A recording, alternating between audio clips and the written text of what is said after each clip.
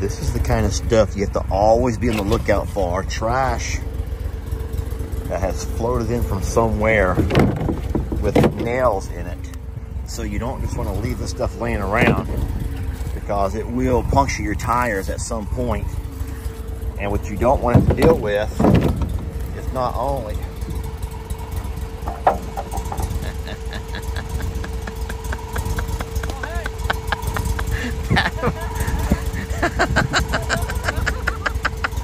that is the meanest thing. And they wonder why I always pick on you. That picking goes both ways, y'all. That picking goes both ways. I don't know what to say, Jay. I don't know what to say. Are those bees in there? I hope not. God, I hope not, too. How am I going to move that big ass one by six with, with my bad shoulder? Yo, you need this one by six back. Okay.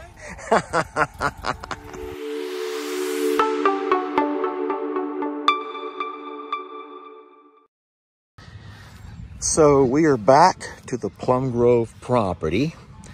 I want to show y'all what we've done to the barn house.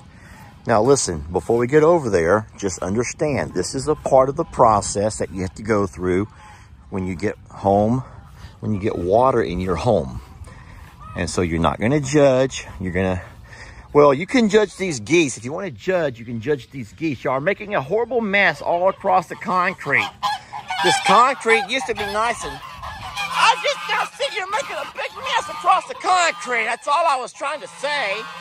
Oh my God. Look at how you could never tell. From here, you could never tell there was a couple of feet of water inside this house no more than less than a week ago. Right? Until, until this. Dun, dun, dun. Y'all ready? Everyone with me on three. One, two, three. Dun, dun, dun.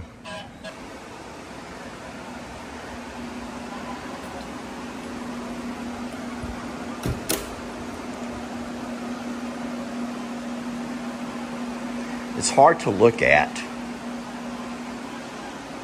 but everything below the line that we had to cut out was no good. All the insulation, all of the sheetrock, everything has to be dried out. And then there's still quite a bit of stuff just to be cleaned. Guys, it's a mess. I'm telling you, it is a real mess. We have wiring that needs to be tucked away. Most things in here are fine, but it's uh, I'll tell you, we've gone back and forth on how much do we want to spend and invest in trying to restore this place. Because even though it's true, there have been some families who have stayed here temporarily. I don't foresee myself ever needing to live here. Ellie and Megan are very happy. I know it's loud, friends. It has to be loud for all the air we have moving around. You have to get this place to dry out with the dehumidifiers and other things. Uh, this AC is completely out on us. It got a little bit too wet and it is no longer any good. And then you're not going to keep this place cool because of the fact that you have holes. You have, literally, you have holes that go right out into, yeah, you're not going to keep it cool. But so much work. So much work.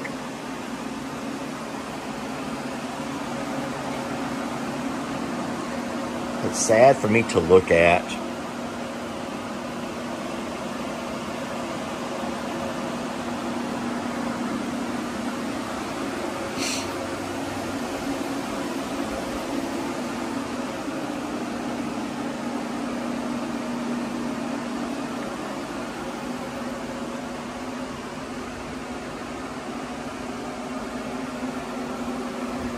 Isn't it a blessing to know that at least you have a place?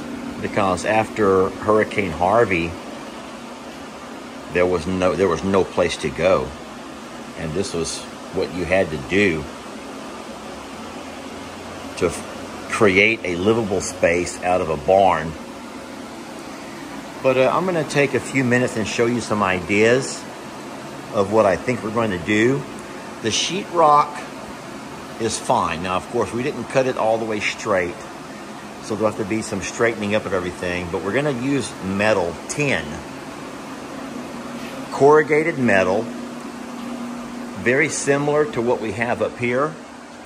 We're going to use the same kind of metal along the bottom and run it downward. Just going down.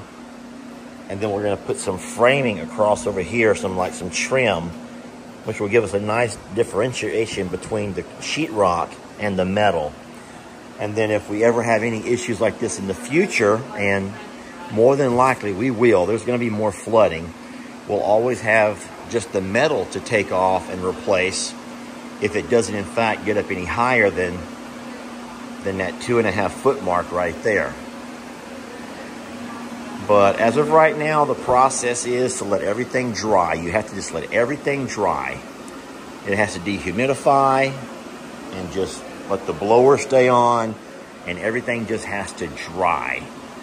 And then at some point, once it's all dry, we'll come by and we'll spray it with the chemicals to make sure there's no mold or anything that can kind of survive.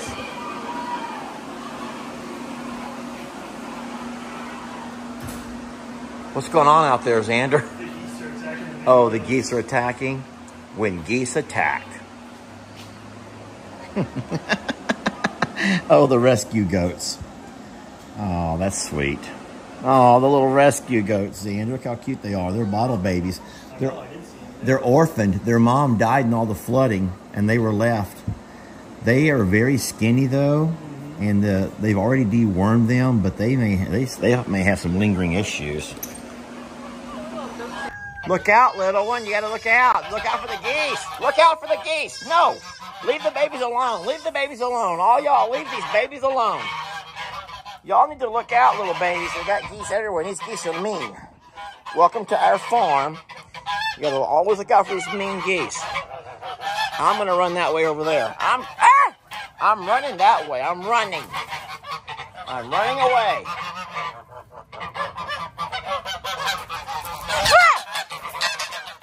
Look out, little ones. Look out, babies. Ah! Look out,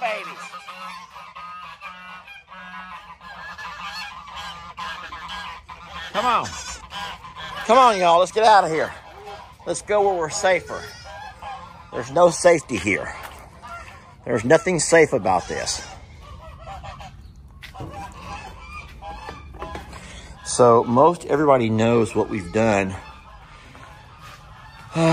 we're utilizing this room in here, which is the old carport where we're going to keep our saddles. This is all, everything's out of the weather in here. We're going to keep our saddles and keep all of our stuff inside of here best we can and let everything dry out. We will come back later.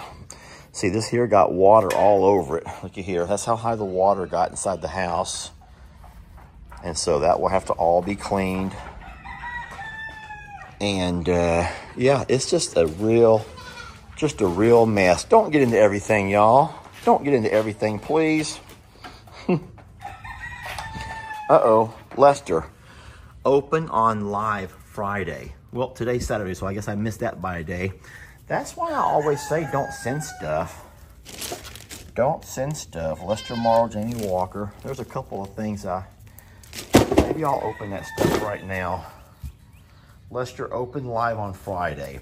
Maybe I'll just take it with me and open it next Friday on my Lunch with Longhorn Lester live. That's what I should probably do. That's what I'll do, y'all. Okay, that's what I'll do. Let's walk out and have us a peek around the barn. Goats are the most wonderful things when they're babies. They only get to become very annoying when they get older. Once they're older, then they get to be just not near as fun. Hi, Corny. Hey, sir. Hi, buddy. Hello, mister.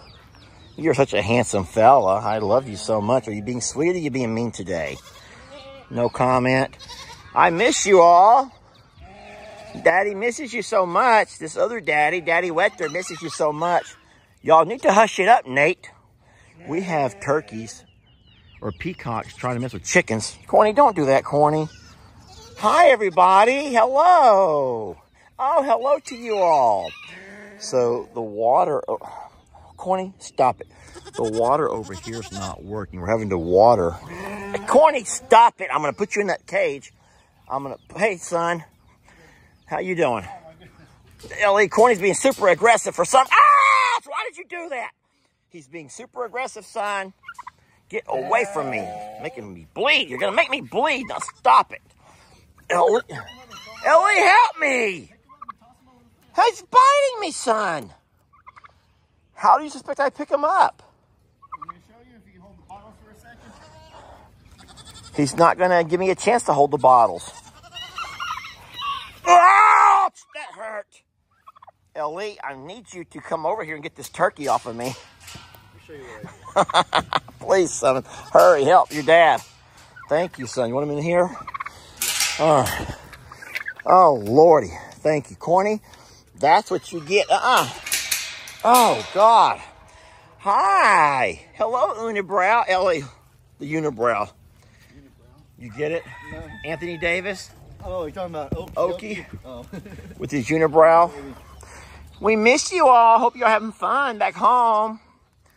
Hope you're all having fun. Hey, Ernie. Oh, boy. These babies are going at it. Well, that one isn't. Two of them are. Which one were you the most concerned with? This one.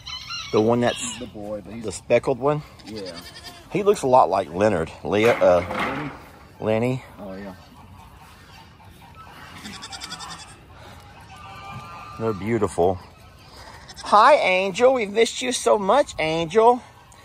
How come you're being so quiet, Angel? How come you're being so quiet today? You're not talking too much, Angel. Oh, you missed me too. It will be angels. Oh, okay. Want me to feed this one? Yeah, you can. I will gladly try. Hey, this is some good baba. It's a good baba. Why don't you eat it? There you go. Jack, you sure are handsome. Missing a few feathers there, but he sure is a good-looking guy. You're a great-looking guy, Mr. Jack. You're sure a good-looking guy. There's Ziggy. Hi, Ziggy. Hi, little buddy. Oh, Ziggy, we missed you over at Longhorn Lester's. He went with uh, Cornholio to Megan's house for the flood evacuation. Well, as you can see, it's going to be quite a while. Hey, sweetie. Hi. Good morning. Hello, baby girl. As you all can see, it's going to be quite a while before we get back 100% to where we were before. That's why I told Ellie, I said, stop telling everybody in about a week because in a week, we may get people back inside their homes. You want some loving or not, sweetie? Kitty, kitty, kitty, kitty, kitty.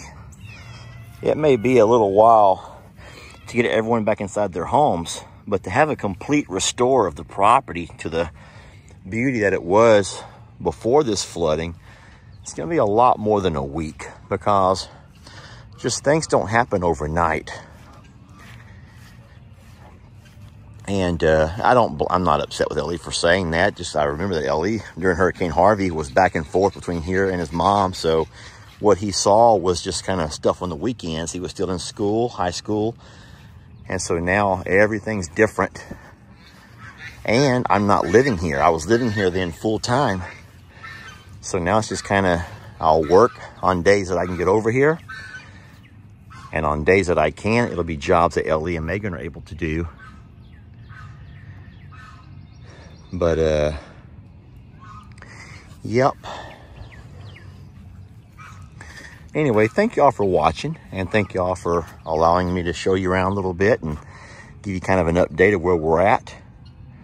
We love you so much. We're blessed to have you. And this rebuild, along with so many other things in our life, would have never been possible without you all. We're blessed to have you. And there's my boy right there. I'm coming to talk to you.